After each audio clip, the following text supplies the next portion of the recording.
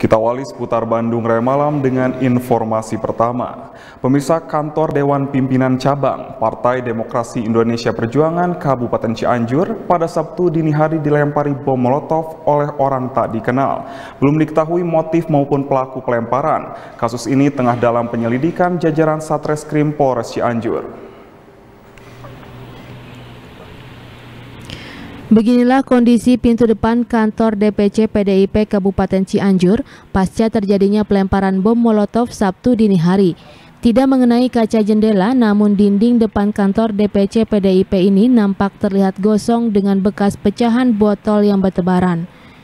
Belum diketahui motif maupun pelaku dari aksi pelemparan bom Molotov ini, namun kejadian ini diperkirakan terjadi sekitar pukul 2 dini hari. Sementara saat kejadian tidak ada aktivitas di dalam kantor DPD PDIP, hanya ada beberapa petugas keamanan yang berjaga.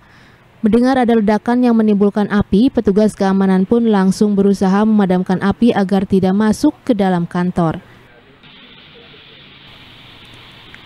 Ketua DPC PDIP Kabupaten Cianjur Susilawati mengutuk keras aksi pelemparan yang dinilai pengecut ini.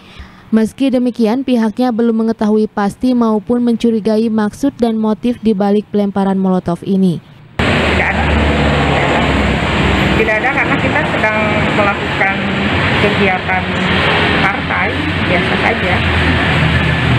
Tindakan selanjutnya seperti apa? Ya kita sudah melapor polisi ya.